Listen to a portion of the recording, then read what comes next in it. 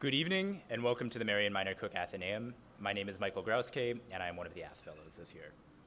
In presidential campaign seasons over the last several decades, it's become a bit of a cliche to call an election unprecedented in terms of polarization, divisiveness, and negativity.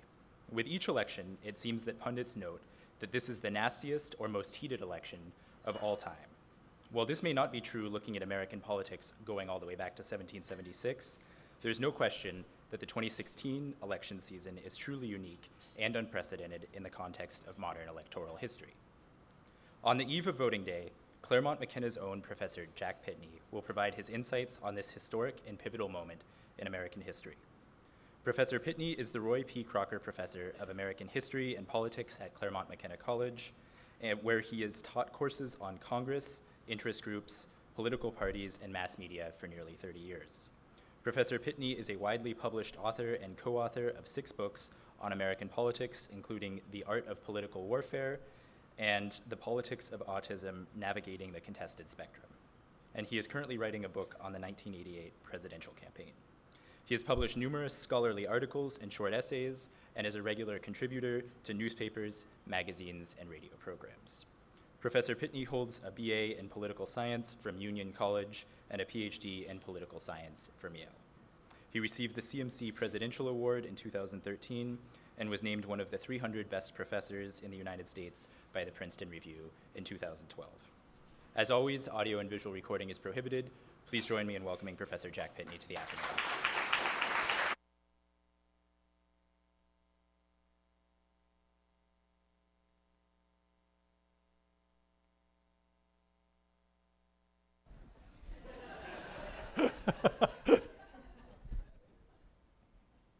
Okay, there we go.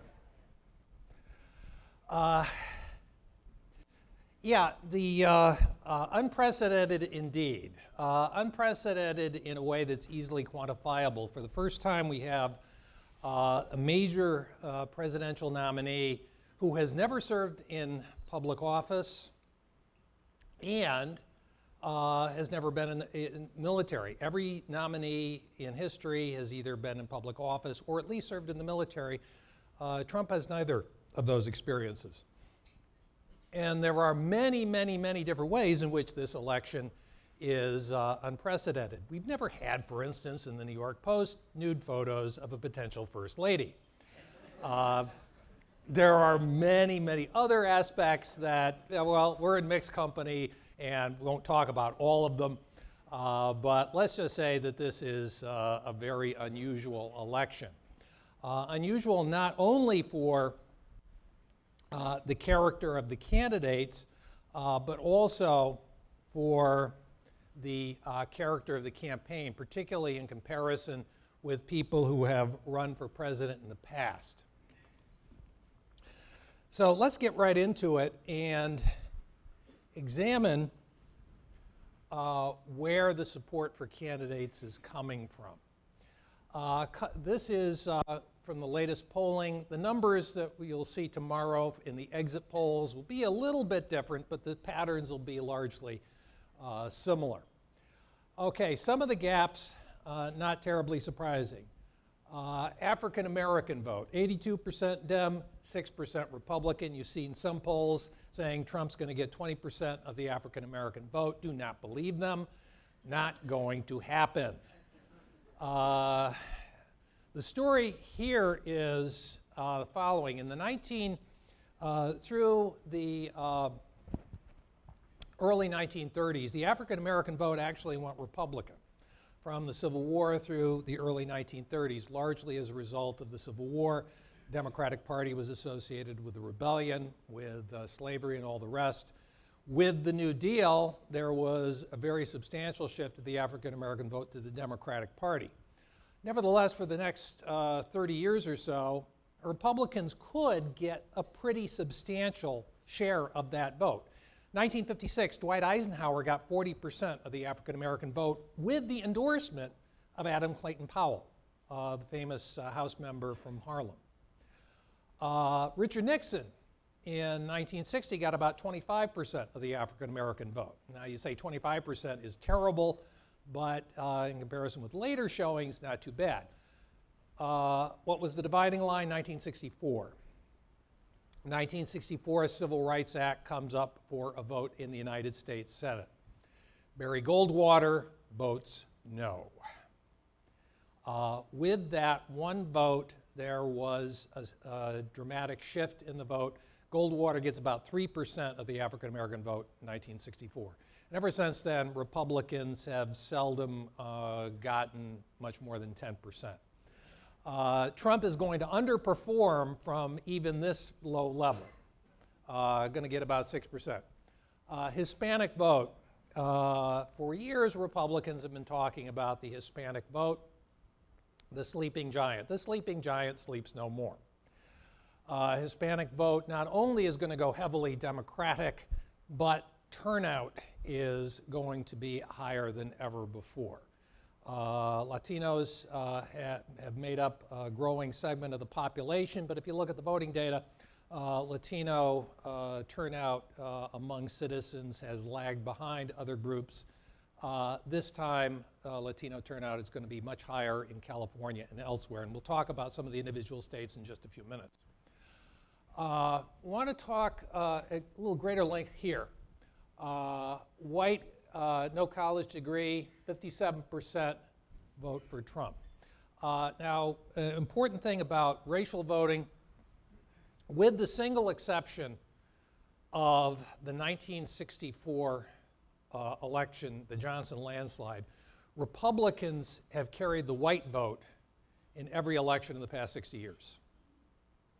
Uh, sometimes really close, uh, sometimes by a larger margin.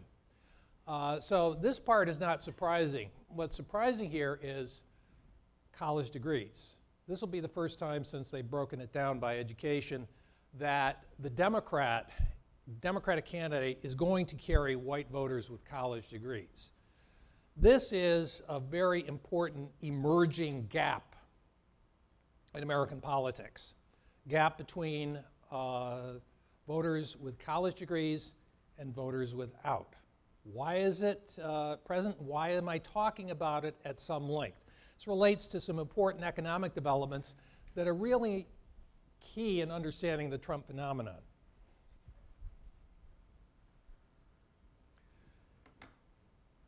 Relationship in recent years between education and economic success. Uh, this is one measure, many, many different measures of this. We could spend uh, the, an entire course talking about this, so this is only a partial view. Uh, these are data from Pew Research. Employment growth is very rapid in areas requiring social skills, analytical skills, very little employment growth in areas requiring physical skills. If you break this down by uh, occupational category, surprise, surprise, manufacturing employment, is not robust. Hence, the stories you see about people in the Rust Belt, in old industrial towns, places like Allentown, Pennsylvania, Youngstown, Ohio, uh, people who used to have really high paying jobs at factories. They don't anymore. And a lot of those folks are flocking to Donald Trump, who says, going to make America great again, going to bring back the steel jobs. We're going to bring back the coal jobs. Really hard to see exactly how he's going to do that, but he's talking in a way that other politicians do not, and they find that very appealing. Uh, and you can kind of see where that sentiment comes from, the economic distress that they're under, uh, undergoing. Now, if you look at the top line data, uh, overall economy hasn't been doing too badly uh, since the end of the Great Recession. Uh, GDP is up, unemployment is, uh, is down, uh, and for a lot of people, uh, the economy has recovered. For instance, people like us. People who go to places like Claremont McKenna, well, we're, we're doing okay.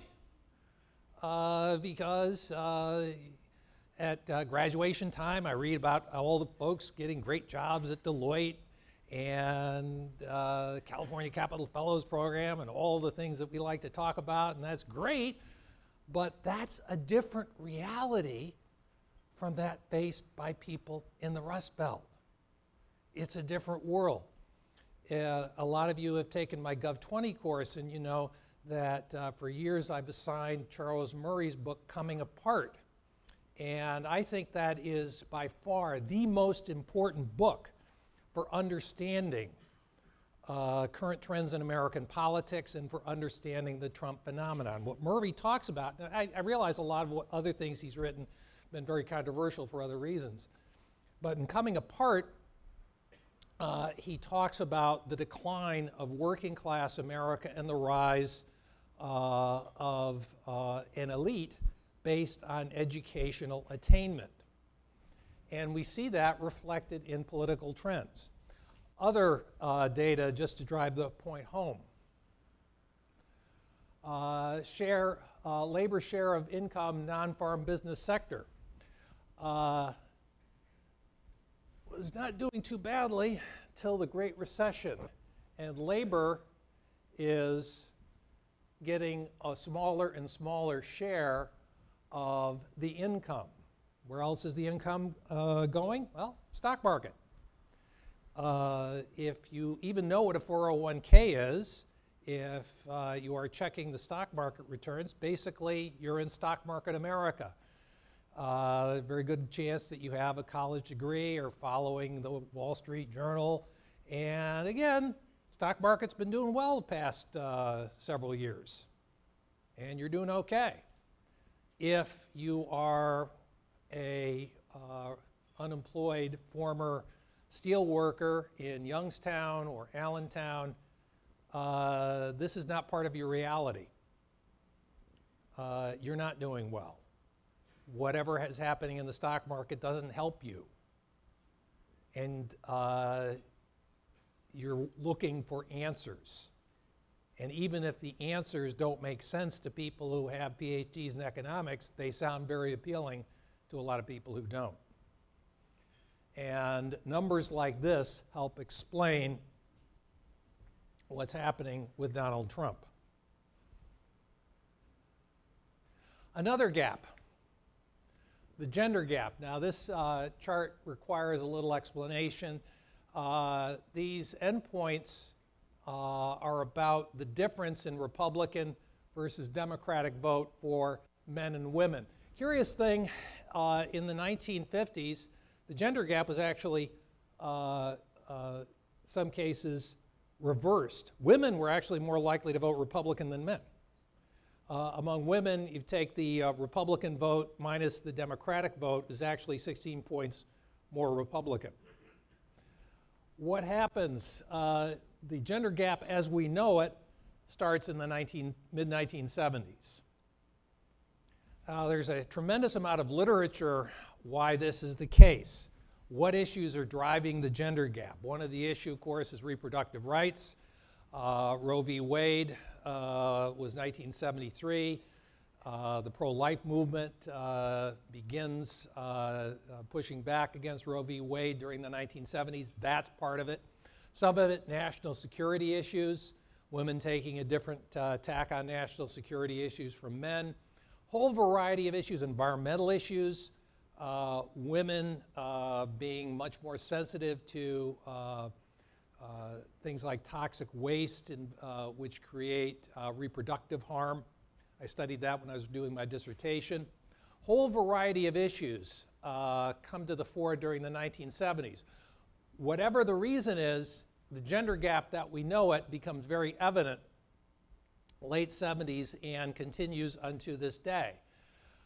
Uh, and it's particularly prominent in 2016. Men, 13, uh, women, 13 points more Democratic, men, 12 points more Republican. This isn't a gender gap, this is a gender canyon. Gee, why are women not so crazy about Donald Trump? wow. Boy, maybe you guys can help me out on that. That's uh, what a mystery. Wow. Uh, obviously, a lot of this is uh, consists of underlying trends. Uh, if the Republicans had nominated, you know, somebody normal. Uh, okay, I'm not going to pretend to be totally objective when it comes to that guy. Uh, the, uh, but if the Republicans nominate somebody else, uh, we probably would still have a gender gap, but it might not be quite as enormous as the one we see here. Uh, and this is going to be pretty significant in, uh, in the outcome of the election tomorrow. So we have, so it's a country that's deeply divided. You have a large number of people who are in deep economic distress, flocking around Donald Trump, who, at the, uh, on the other hand, is deeply repulsive to African Americans, to Latinos, to women. This is uh, a reshaping of American politics, a reshaping of political parties. As the things Trump is talking about are not the things uh, that uh, Republicans have, uh, have been standing for in recent elections. Republicans, until Trump, were the free trade party. Uh, in 1993, uh, Bill Clinton took a stand in favor of NAFTA. The only reason he was able to get NAFTA passed through the House was the House Republican whip named Newt Gingrich was able to get enough Republican votes for him to get that passed, and Republicans considered that a great bipartisan accomplishment. Now, of course, Trump is getting the support of Newt Gingrich, who suddenly discovered that he didn't like NAFTA after all. Uh, and uh, Trump is uh, rejecting free trade. Uh, on foreign policy, uh, during my entire life, if you thought the Russians were a threat, if you stood against the Russian threat, you were a Republican. If you cheered President Reagan's evil empire speech, you were a Republican. And now the Republican stance on Russia is hey, never mind. Hey, they're good people, you know, they, they like me, you know. Uh, that's kind of strange. Remember, the title of this talk is Strange Days Indeed. So, uh, uh, some of you may be fans of the TV series The Americans.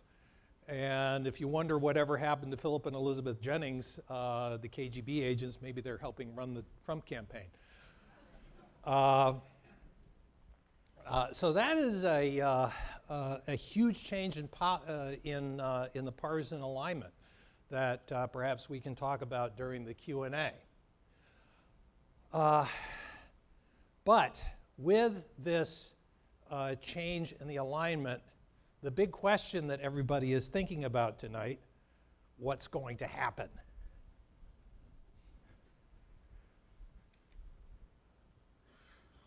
Okay, this is the part you've been waiting for.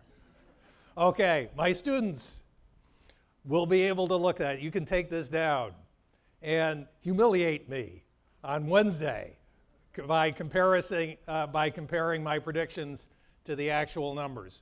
So I want to spend some time going over what I think is going to happen and uh, the reasons I picked uh, these predictions. And uh, the reason I do this, is it really does give students an incentive to pay, pay close attention because they figure if I, if I get it, if I take this down just right and I compare it to the real results, I can really embarrass the hell out of him on Wednesday. I don't care. Whatever gets the, uh, whatever gets the educational point across, that's what I'm going to do. Uh, it's uh, sort of like sitting in a dunk pond. Uh, is the political equivalent of that. Anyway, so for uh, so I'm going to place myself in the dunk pond right now and say Clinton gets 49% of the vote. Why that figure? Uh, the latest average of Real Clear Politics uh, po national polls on the popular vote gives Clinton approximately a three point edge, uh, which is up from what it was just a few days ago. If you go to Real Clear Politics, which is uh, an aggregator of various news and polls, uh, there was a, uh, a, point a couple of uh, days ago where Trump was narrowing the gap and then uh, Friday, Saturday, Sunday, the gap started widening again in Clinton's favor in the national vote. I think it's going to widen a little farther for uh, a couple of reasons. One, Latino vote. As we have seen already in Nevada and Florida, a lot of the folks who are turning out to vote are what the professionals call low propensity voters. People who ordinarily don't show up to the polls and are not likely to show up in likely voter screens. So the actual electorate is going to be a little different from the electorate that's showing up in the likely voter screens. And I'm guessing that that electorate is going to be a little bit more democratic than uh, the polls are showing. Now, the key word there is guess. It could go in the other direction too. That's, uh, that's the risk I'm taking in making these predictions. Because uh, the Trump people are saying there is a whole cadre of shy Trump voters out there who don't talk to the pollsters, don't trust the media, and they're going to come out in droves tomorrow. Just wait and see. We'll know in 24 hours for sure. Maybe that will happen. I doubt it, but if it does happen, uh, I'm, well, I'm just happy that my mother in law was born in Toronto, which means my wife can claim Canadian citizenship, uh, which means we can more easily expatriate. But uh, we'll, we'll, we'll cross that bridge when we get to it, as Chris Christie said.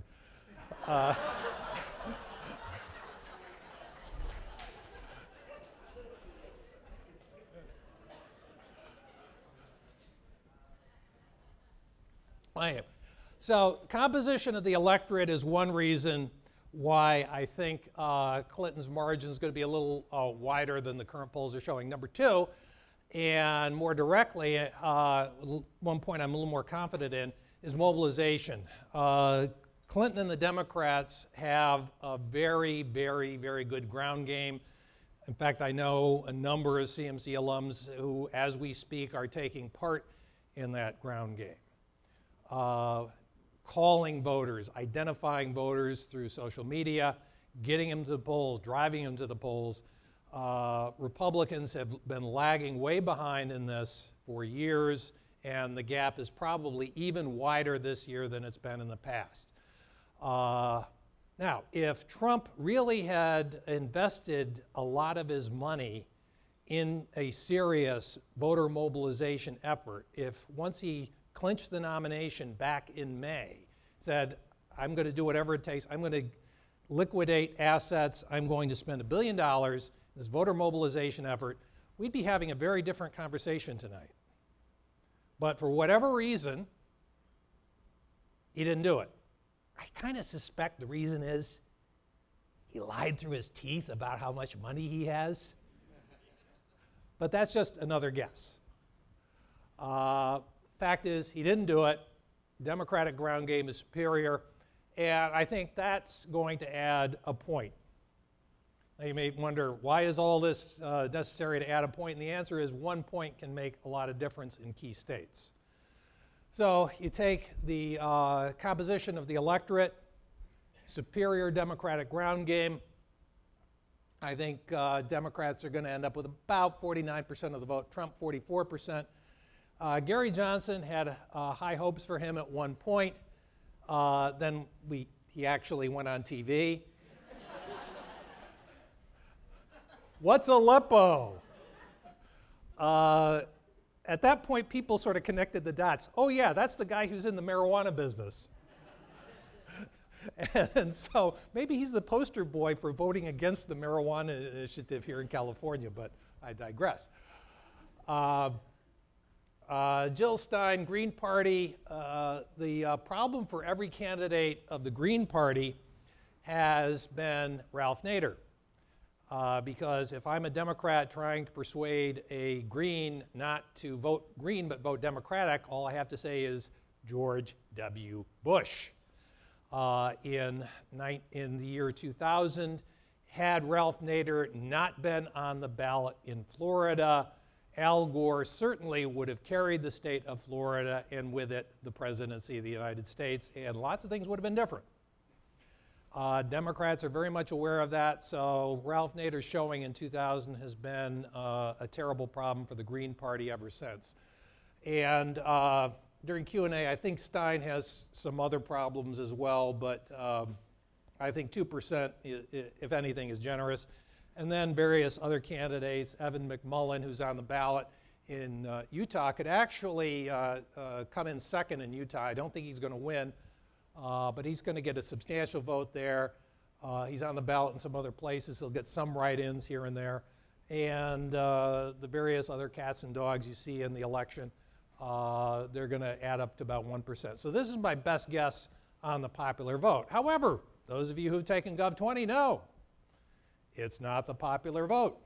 Indeed, as the entire country learned in 2000 when Al Gore got the plurality of the popular vote, still not the deciding element. Deciding element is the Electoral College. So, without further ado, the Electoral College prediction. Okay. So, a lot of these states, not terribly uh, controversial. By the way, I've been doing this since 1988. Jack and Jill remember I, I put together a similar map, 1988 election. I, you know, pretty close back then. Uh, sometimes I've, I've been off. In 2004, I was absolutely certain John Kerry was going to win. And in fact, uh, I was so certain Charles Kesler repeated it to William F. Buckley Jr., who published it. Last time I ever met Buckley, I said, oops. but anyway, again, here I am at the dunk pond, and I'm going to stick my neck out. This is probably a slightly higher total for Clinton than some other predictions. Not going to go through every state. California, uh, this uh, in 1988, Bush carried California. This used to be a competitive state. Uh, even in the 1990s, Reeves thought they had a shot here. That's, that's all gone. Uh, not only is uh, Clinton going to win she's going to win by a rubble bouncing margin that will uh, reverberate down the ticket. Uh, gonna, uh, Trump will be lucky if he gets 30% of the vote here in California. 30%. That's about what the polls are showing. And in fact, among voters 18 to 34, he gets 13% in California which does not bode well for the future of the Republican Party in the state. Well, anyway, I could go on and on about California, but that's deep blue. Uh, Nevada. Uh, a lot of people have thought, well, Nevada is a swing state. No, no, no, no. Er, early voting. If you uh, followed the uh, developments on early voting, enormous, enormous Latino turnout uh, in early voting, and most of the people who follow Nevada politics say it's gone. Uh, so heavily in favor of, uh, of Clinton, no chance that Trump's going to carry Nevada. In fact, uh, we'll talk about the Senate election in a second. That's probably gone for the Republicans too. Uh, Colorado, we see a pattern here. Very large Latino community in Colorado. Uh, that went for Obama four years ago, going to go for Clinton this time. New Mexico, uh, uh, again, uh, not surprising, heavily Latino and uh, pretty safely for, uh, for Clinton. Arizona, now if Clinton has a really great night, this is one of the predictions I could go either way on. Clinton has a really great night, Arizona could go blue too. Uh, Clinton has uh, been behind in most of the polls, but Ari- keep an eye on Arizona. I'm calling it for Trump right now, but I, I, my, my reality would not be upended if Clinton carried it. Because there are three groups in Arizona that don't like Trump. One, obviously, Hispanics. Duh. Uh, two other groups Native Americans. Uh, substantial Native American community in Arizona. Uh, Trump uh, in the casino business has a long history of saying not kind things about uh, Native Americans. And also, very substantial Mormon community. Uh, Mormons uh, kind of look at Donald Trump's life and say, Ugh! I like Mormons. uh, and then Utah. Um, uh, Trump probably going to carry Utah, but uh, going to vastly underperform. Uh, Mitt Romney got 70% of the vote. Trump will be lucky to get 40. Uh, if he has a bad night, uh, if Trump has a bad night, McMullin could carry Utah, but I, I don't think he's going to quite go over the top. Uh, Minnesota, Trump uh, campaign in Minnesota. Some of you last week saw my friend Steve Schier. Uh, I talked to Steve about that. Uh, he knows Minnesota politics better than anybody. No chance that Trump carries Minnesota. Uh, uh, Illinois, safely Democratic. Michigan, there's some, this is closer. I think in the end, the Democratic mobilization keeps Michigan in the Democratic column. Uh, it's not as heavily unionized as it used to be, but you still have uh, some substantial presence of organized labor, at large African American community in Detroit, uh, and I think that will be enough to keep Michigan in the column. Uh, Ohio, again, this is a closer call because a lot of people are calling it for, uh, for Trump. I think in the end, that's where the Democratic mobilization is going to make a difference, and uh, particularly in the large African American communities in the large cities uh, in Ohio. Although, again, I wouldn't be totally shocked if it went the other way. Some of these calls are, uh, are kind of on the knife edge. Um, Pennsylvania, I think pretty safely in Democratic column. Republicans always think they're going to have a shot at Pennsylvania because uh, they've seen the deer hunter. Uh, but uh, it's, it's like Lucy and the football. You know, it, it goes Democratic. Uh, North, uh, New York, Northeast, uh, there was some thought that Trump might carry New Hampshire. There's one poll recently, Clinton's ahead by double digits. Uh, so I think she does well in New Hampshire. go down the, the coast here, a couple of others. North Carolina, that could go either way. That is really close. I'm not totally certain about this, uh, but Clinton has been leading in polls. I think that's what uh, one state where the mobilization effort is going to make a big difference. However, however, however, uh, Clinton has been underperforming in the early vote among African Americans. Now, some of that has to do with uh, the uh, uh, lack of availability of early voting sites. There are accusations of vote suppression. There's going to be a lot of controversy about that after the election. But if that's true, you're probably going to get a higher than in the past African American vote on election day. Uh, so the shutdown of early voting may shift that vote from early voting to election day. That's what I'm guessing will happen. But I could be wrong on this. North Carolina could go either way. I'm guessing it goes Dem, but keep an eye on it. And finally, the big kahuna, Florida. Uh, Florida in recent elections has been right on the knife edge. It obviously was the state that decided the election in the year 2000 uh, and uh, been seesawing between the parties ever since. Uh, Obama carried it four years ago, but we didn't know until several days after the election. It was that close. I'm guessing it goes Democratic. One, uh, Democrats were lagging in the early part of early voting, but over the weekend they caught up substantially. Number two, very large and very rapidly growing Hispanic population. In the past, that Hispanic population encompassed many Cuban Americans who have tended in the past to vote Republican. What's the big difference now? Puerto Ricans large, large, large influx of Puerto Ricans in Florida. And if you're familiar with politics in the Bronx, Puerto Ricans vote heavily, heavily Democratic.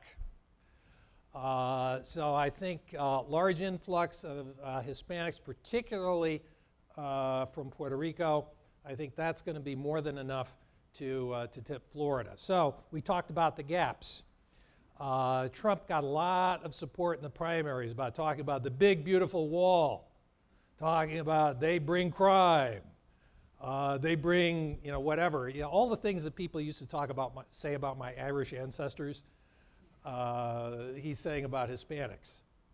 Um, and they're repaying him. Hispanics are saying, oh, okay, yeah, you're going to say those things? Okay, we're going to get involved in politics. And uh, not only is Trump going to get a lesson in Hispanic mobilization, the Republican Party will continue to get that election, that uh, uh, lesson for years to come. So I think in the end, uh, vote's going to be 344, 194. It's not, I don't think it's going to be super close in the Electoral College. But keep an eye on some of these states. Some of these states are really close and could go either way. What's going to happen in the Senate? Some states I think Democrats are going to gain. Uh, Missouri, that wasn't even on the screen, but Roy Blunt is a longtime political insider whose son was governor. People don't like political insiders. Blunt is not a particularly pleasant person, and uh, I think he's going down. Uh, is a very uh, charismatic politician uh, and uh, very appealing, and I think he's going to uh, win. Same dynamic in North Carolina. Deborah Ross, nobody gave her much of a shot at the beginning of the campaign. but Richard Burr, again, political insider, very vulnerable to it, the same kind of attack that Trump is, uh, is mounting against the political system. There's a common denominator here. Uh, if you're a Republican, but if you look like the kind of guy that Trump is running against, you could have a problem. So I could imagine a fair number of people voting for Trump, but voting for one of these folks as well, because they're, out, uh, they're perceived as outsiders. Uh, Pennsylvania, uh, tough state for a Republican. Uh, and uh, uh, six years ago, Pat Toomey won because it was a wave year for Republicans. That wave has receded. And I think she's, she's going to go over the top in part because the Democrats are going to do a good job of mobilizing their vote for uh, Hillary Clinton. And in Wisconsin, Russ Feingold, I think, is going to return to the Senate. Ron Johnson defeated him six years ago. Uh, Ron Johnson, not a particularly effective senator, and uh, Feingold is getting a lot of support from national Democrats. And uh, uh Clinton is going to win Wisconsin, I think, by a pretty sizable margin. That's going to help Feingold. Uh, retentions. At one point, Rubio said he didn't want to run for the Senate again, and then he decided, well, maybe if uh, Trump loses and I'm still in the Senate, things might be a little, look a little different in four years. So uh, he uh, changed his mind. I think he's going to win. He, uh, polls show he has a pretty good margin. This is a surprise. When Evan Bayh, former U.S. Senator, got in the race, people said, okay, that's it. He wins. Well, it turns out in between, uh, he had moved away from the state and had been a lobbyist. Uh, people don't like lobbyists. Now, don't tell my wife I said that, because she's a lobbyist. Uh, but um, the, uh, it, it's, it's not a job uh, description that uh, is politically appealing. Uh, and uh, as, as Bruno pointed out in class, Todd Young has done a great job of keeping a low profile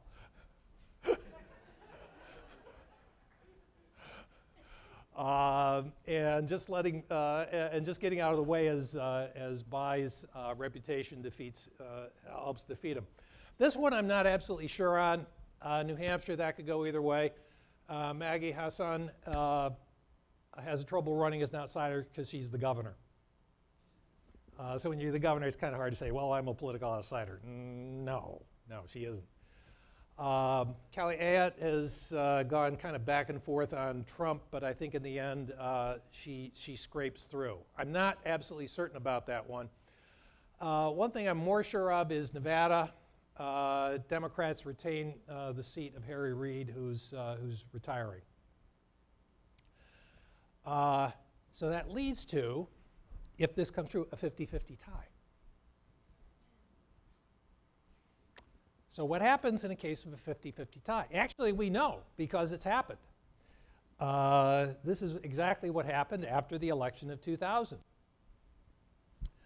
Uh, there are a couple of things, it could happen in a couple of ways.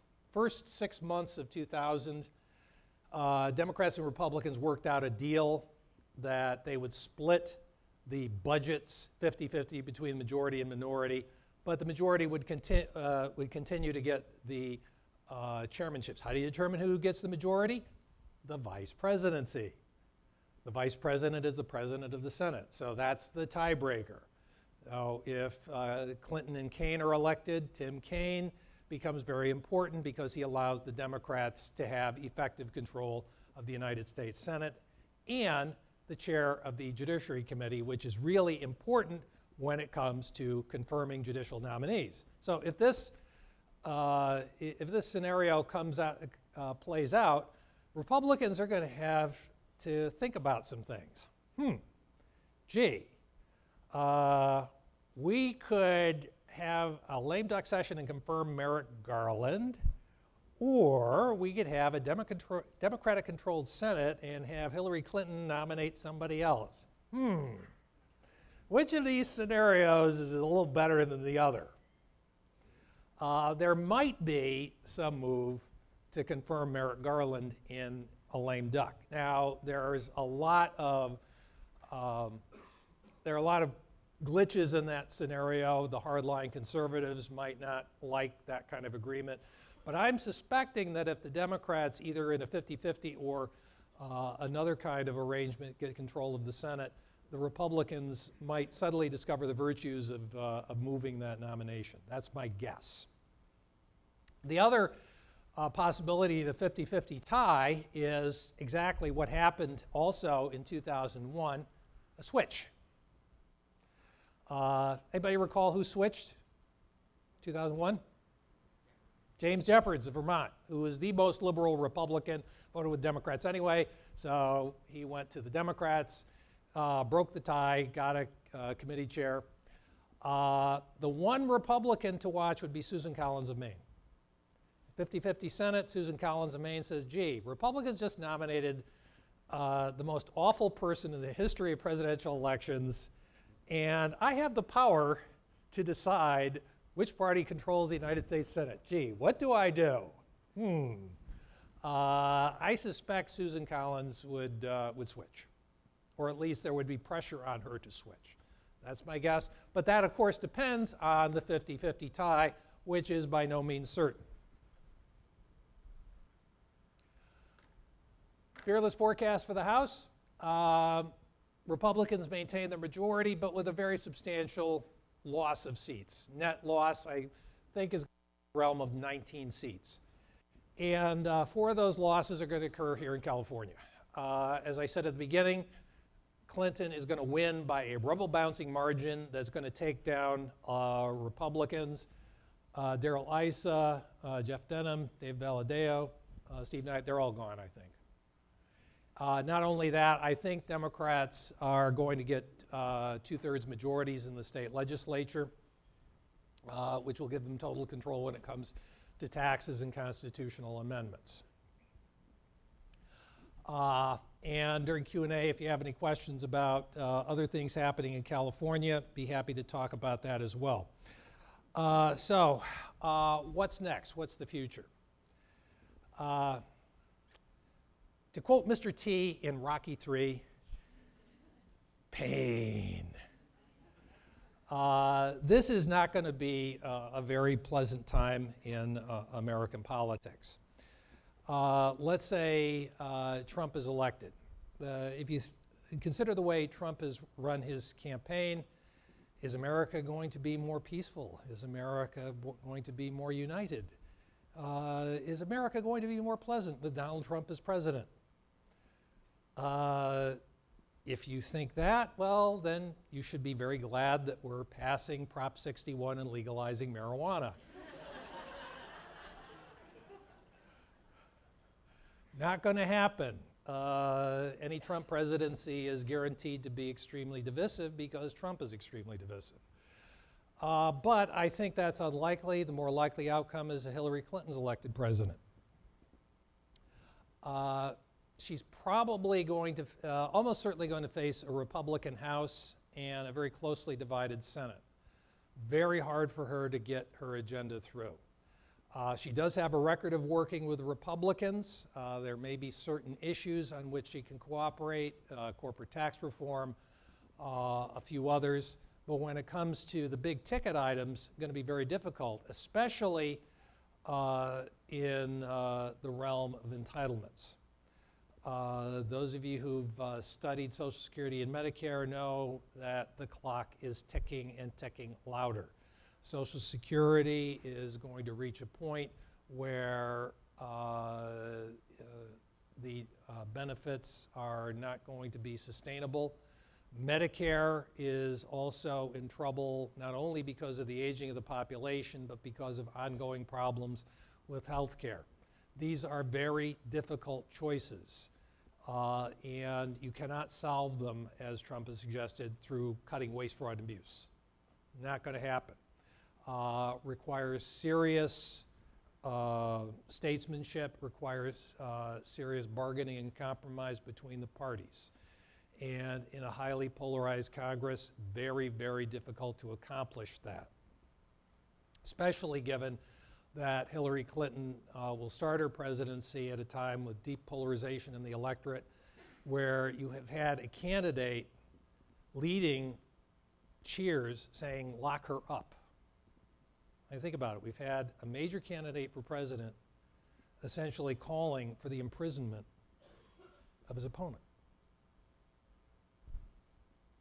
And how are we going to get past that after that opponent is elected? Um, I think that's damage that's not going to heal very soon. Uh, so, um, the very best that we can hope for in the next four years, and I wish I could, uh, could end on a more hopeful note, is uh, continuation of uh, deadlock on major issues. Perhaps in the midterm election of uh, 2018 or the presidential election of 2020, we can reach some kind of uh, more definitive uh, resolution of these issues going one way or the other. Uh, but for, uh, for the time being, uh, the best you can say is strange days indeed. With that, I will take questions.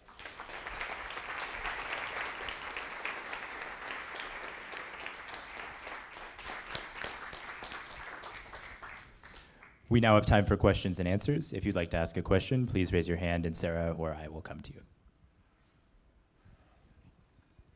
Hi, thank you for your talk. Uh, what weight do you give to Trump's comments about uh, not accepting or not conceding the election results? Is that important? Is that something to watch for, or what are your thoughts? Thank you.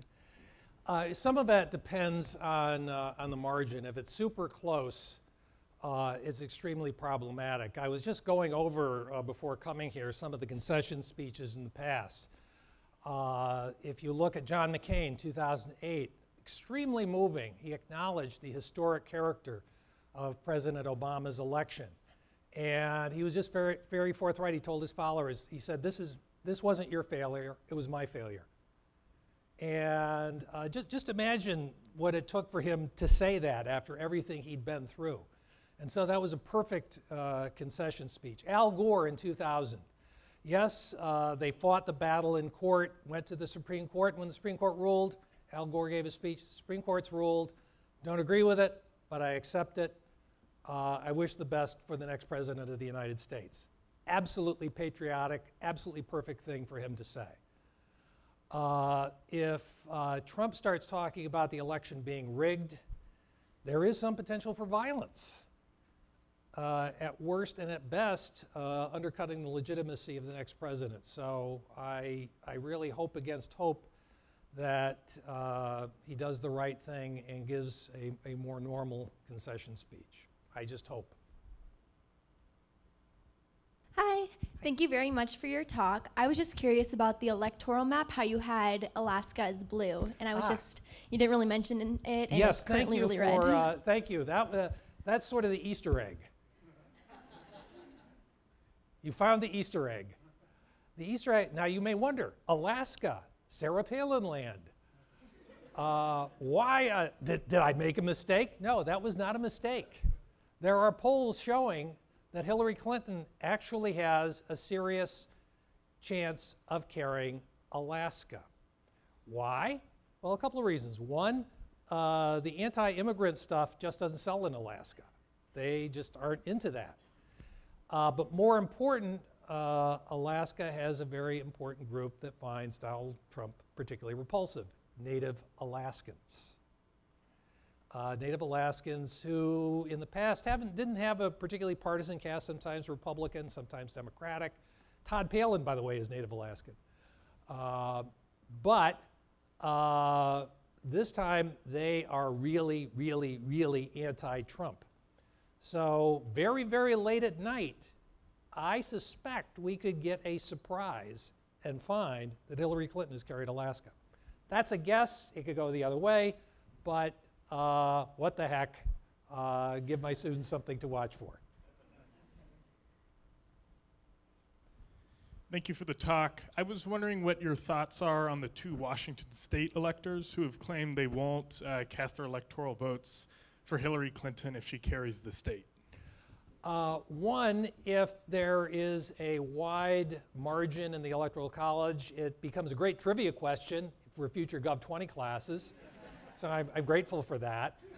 Uh, if, uh, however, we have a very, uh, let's say my prediction is wrong and you have a really, really close electoral vote, that could be bad, uh, particularly if it tips the uh, election into the House of Representatives. Because if the election goes to that, let's say Clinton wins the popular vote, doesn't quite make it in the Electoral College, the election goes to the House. Uh, it's very likely Republicans will continue to control a majority of state delegations in the House of Representatives, because that's how it goes. It's not a vote of the whole House, it's a vote of state delegations. Uh, and so having the, uh, the House elect somebody other than the winner of the popular vote, I don't think that would be good. Uh, and of course, that, if that happened, there would be pressure on those electors to stay with the winner in the state. Parenthetically, there's a CMC connection there. Those of you who were around in 2000 uh, will remember that when Al Gore clearly won a plurality of the popular vote, two CMC students got international attention for starting a website trying to persuade Bush electors to flip to Gore on the grounds that Gore won the popular vote. Matt Grossmann, now a distinguished professor at Michigan State, and Dave Enrich, uh, uh, uh, equally distinguished journalist for the Wall Street Journal. So, Stag's making a difference.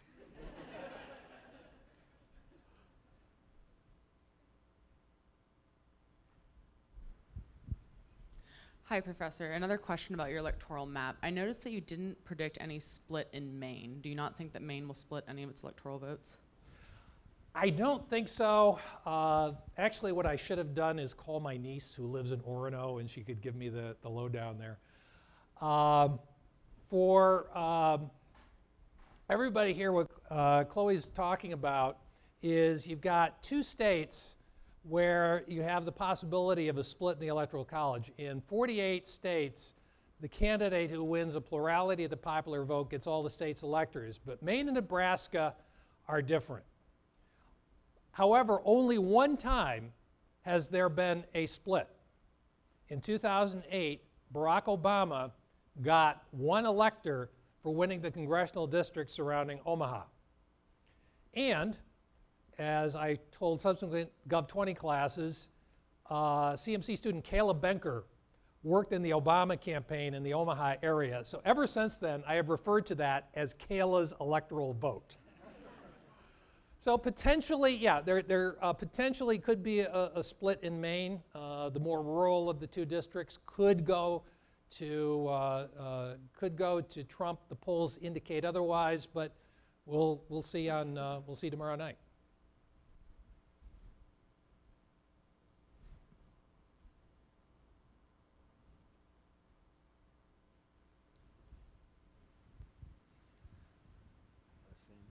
Thanks for the talk. How do we go forward if you're a Republican? Not that I am, but what happens to the future of the Republican Party given all this historic split and what happens to Paul Ryan? Two great questions. Uh, number one, prayer. Uh, Republicans need lots of prayers. Uh, I, I uh, it's going to be a difficult internal uh, debate. In part, that's going to depend on what Donald Trump does. Uh, let's say he loses tomorrow night. What is he going to do? Is he going to go back to being a uh, uh, New York playboy, or is he going to continue to try to lead a national political movement? If the latter, that is, will be disastrous for the Republican Party. Uh, if the former, maybe, maybe, maybe they can get through this. Uh, maybe with the leadership of people like Paul Ryan, they can get back to uh, something uh, approaching normality. Because some of the things that Ryan is talking about uh, actually uh, fit with what the party needs to do. We talked about economic distress. Uh, Republicans need something to address the real concerns that are really fueling Trump. Uh, what do Republicans have to offer the retired steelworker, uh, the, uh, the person working at half the pay that he or she used to have before? Got to have something to offer that person other than a trade war that will kill even more jobs. As to uh, Trump, as to uh, Ryan in the House of Representatives, there's some talk that the Freedom Caucus guys want to get rid of him. The one saving grace is uh, there isn't any obvious candidate to replace him. But if there were, my own preference would be for Ted Yoho. Not because Ted Yoho is a great congressman, he isn't, but because I just like saying Ted Yoho.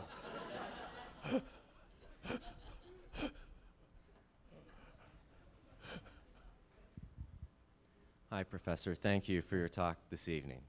You know, being in the business world for a while now and having graduated 11 years ago, it, as the years go by, you get more experience dealing with dollars and cents, and, and being in the tech world, you especially see businesses make it, they go under. The, uh, the, if the scales are in their, in their favor, they make it, and if the scales are not in their favor, they fail. And with the amount of money our government spends, and it seems that it hasn't been much of an issue at all in this election. The scales are clearly seem not to be uh, tipping in the favor of uh, you know having a budget that makes dollars and cents. So, what it, I would um, appreciate your comments on this, the serious of our national debt and our chances of getting ourselves out of this hole.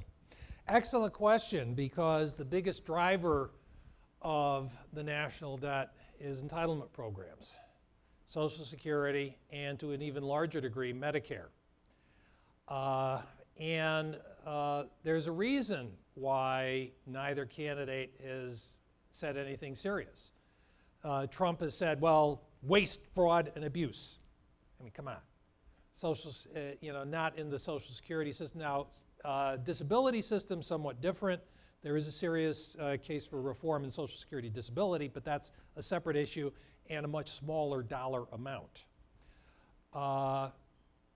When it comes to Social Security, here are the options raise taxes, cut benefits.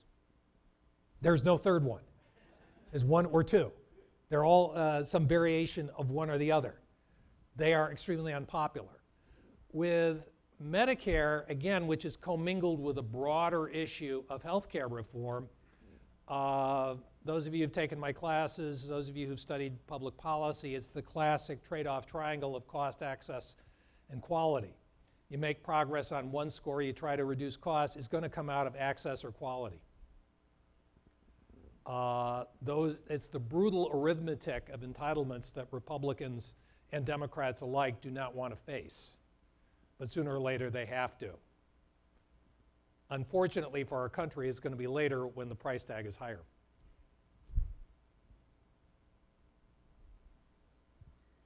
Hi, Professor Pitney.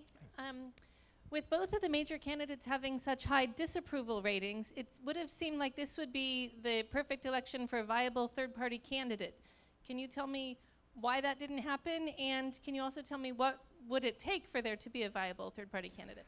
Uh, the answer to the second question is money, uh, because the system, uh, I hate to say they used, use the word rigged, uh, but the system has a structural bias in favor of the two major parties.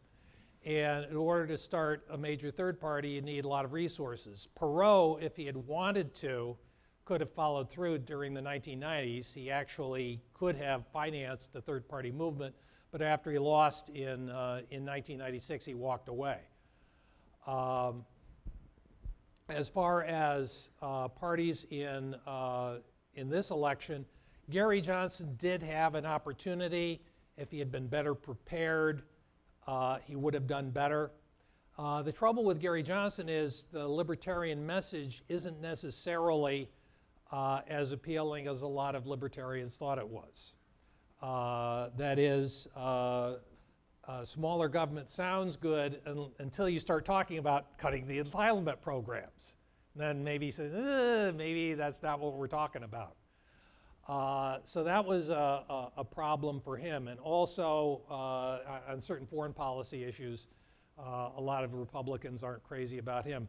There was another candidate, Evan McMullin, uh, who got in very late. He's on the again on the ballot in Utah and a few other places in California. Uh, he's a write-in. He might have been able to make some inroads, but the thing about McMullin is he's running not as a distinctive third-party candidate, but as a normal Republican person. Uh, and so that's not the, the basis for uh, a third-party movement. Uh, and, and, so really the thing is it takes uh, a message that a lot of Americans regard as, uh, as compelling, but more important than that, it takes massive resources. Uh, so the reality is it would take uh, a self-funding billionaire who wanted to follow through on a third-party movement.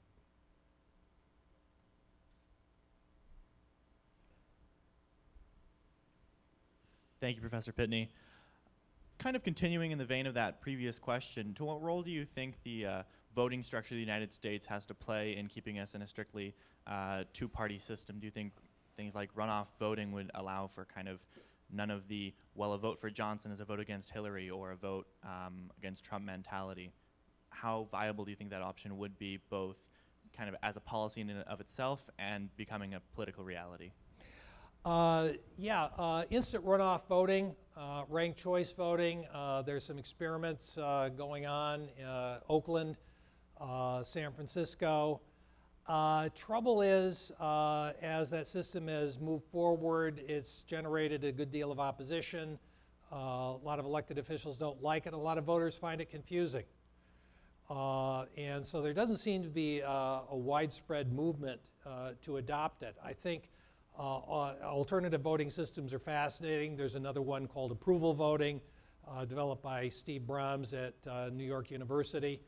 Uh, but these just have never caught on. Uh, first past the post voting is deeply entrenched both in law and in political practice, and it's very difficult to, to get out of that groove. As far as reforms to the electoral process, obviously, campaign finance has spawned a thousand senior theses. Uh, I've supervised many campaign finance theses over the years. I expect to continue doing so as long as I'm here. Uh, it's an evergreen topic. Uh, uh one of the things we can do that would, uh, I, I, think, be a genuine reform of campaign finance would encourage more participation and possibly more competition. Not so much limiting uh, uh, uh, contributions or expenditures, which is legally problematic, but encouraging more small donations to get into the system. Uh, we've seen that in the, uh, the potential for that in the Bernie Sanders campaign. And one thing we could do is something was actually tried for a few years in the 1980s, and that's ta tax credits uh, for small donations. If we could do that, we could increase the flow of small money into the, into the system and that would be helpful to, uh, to uh, candidates who are sort of off the beaten path. Uh, one problem there is, fi is finding a financing system, but uh, the amount of money involved isn't nearly of the same magnitude as we see with, say, something like uh, entitlement reform. It's, it, it's a fixable problem, and it's something that I would strongly support. Thank you for your talk, Professor. Um, I really hear you on the, the economic arguments as to why Trump has been so successful. Um, but it seems like either following or underlying his support, or following the economic arguments or, or underlying his support, is uh, a cultural aspect as well um, the idea that either American values um, are fading or right like a conception of America is fading. Um, so I was hoping you could speak a bit to that because that seems more difficult to solve than just jobs or uh, money. Yeah, and that's a terrific question. And it's really hard to separate out the two because a lot of the cultural concerns are commingled with the economic concerns. Uh, Trump has, uh, has criticized the whole idea of American exceptionalism. And when he's asked about it, he says, well, look, Germany's eating our lunch. He conflates American uh, exceptionalism with economic prosperity. Uh, and a lot of people, as we see in the, uh, the past year, feel the same way. Uh, in times of economic distress, there's a tendency to blame outsiders. And this is something we saw as far back as the 19th century. What's particularly disturbing uh, about the Trump campaign, not just the economic message, but uh, the cultural message. I, uh, I mentioned the, uh, uh, the line about building the wall and uh, you know, they, they bring crime, et cetera. but even more recently and ominously, a speech he gave in Palm Beach that he's used as the basis for his, his closing campaign which contains deeply and directly anti Semitic overtones. Uh, that is talking about international conspiracy and bankers and the Federal Reserve, and uh, in, in many respects, uh, literally uh, very close to what Louis Farrakhan uh, was talking about. And uh, that's something that is very, very alarming in American politics, and it's alarming that we're seeing a major party nominee flirt with this awful, uh, awful strain on the, uh, on the far right. So it's going to take a long time to overcome that. I don't know what the solution is other than uh, hoping that Donald Trump does not become president of the United States.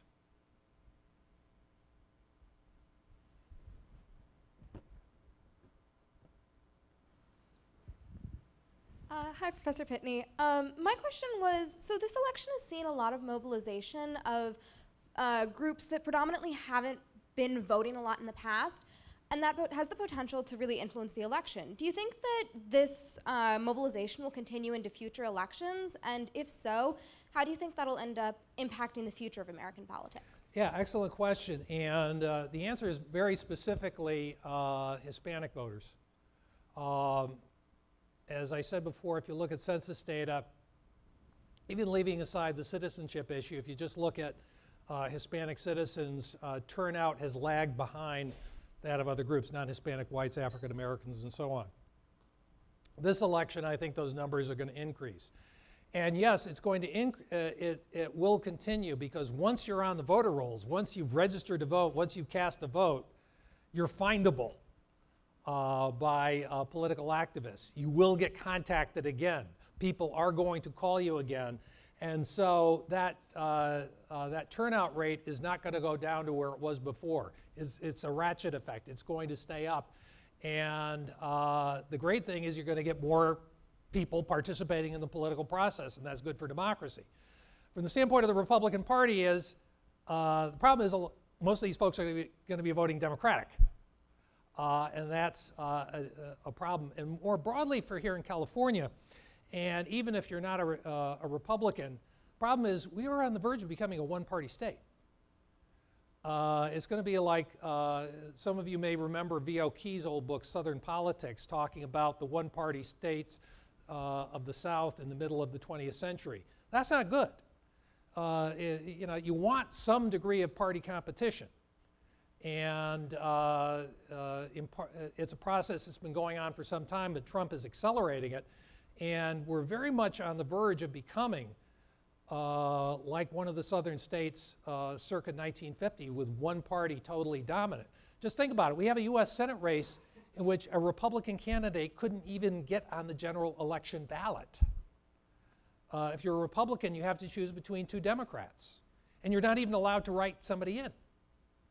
Uh, you know, I, I, just don't think that's, you know, even if you like Kamala Harris, it's kind of good to have, you know, a Republican alternative.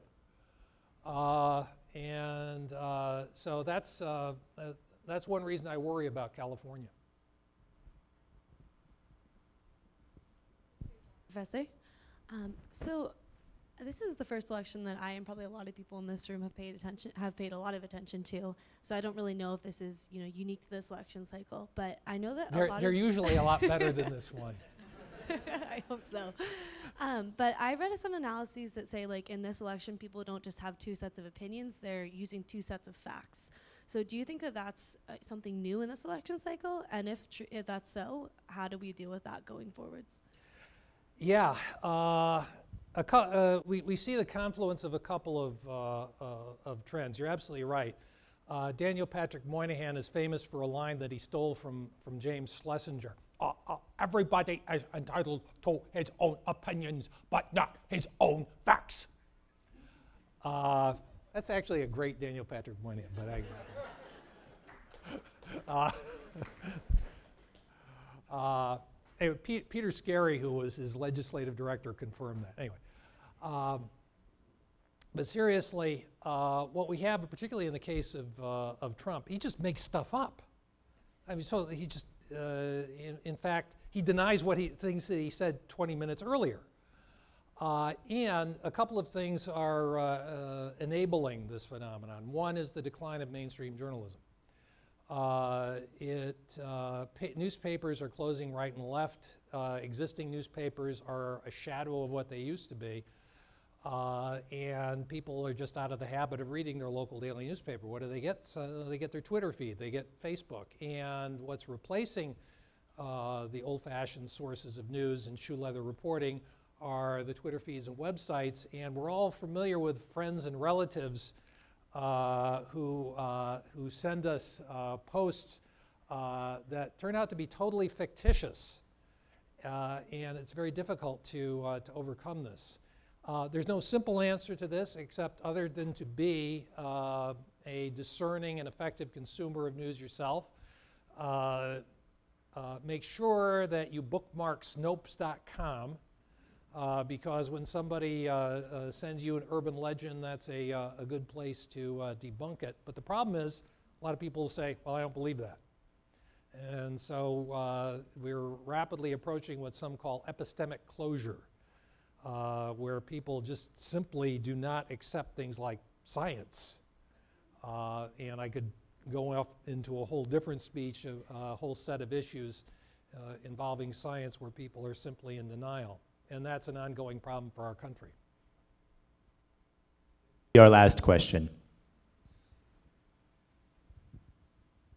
On the assumption that uh, Clinton wins the presidency and controls, the, Democrat controls the Senate, Republicans are threatening to withhold um, approval of a ju uh, chief or a um, justice for four years. Would you comment on the, you think of the feasibility of the actually doing that?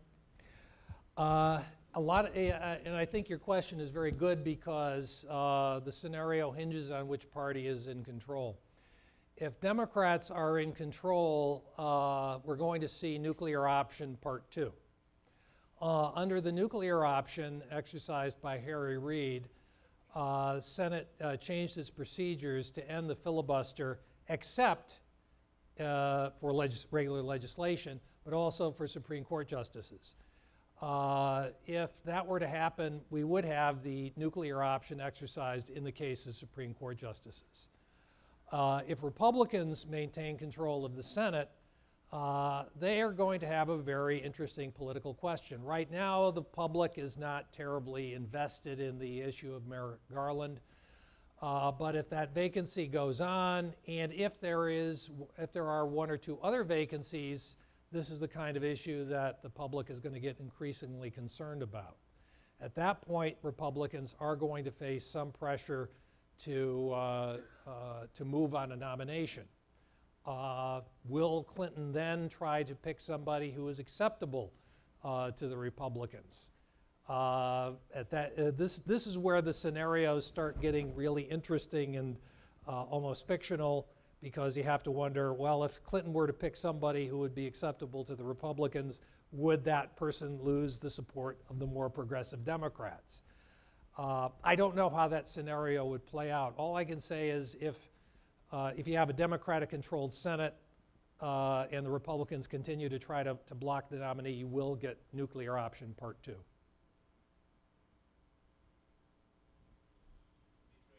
Professor Jack Pitney.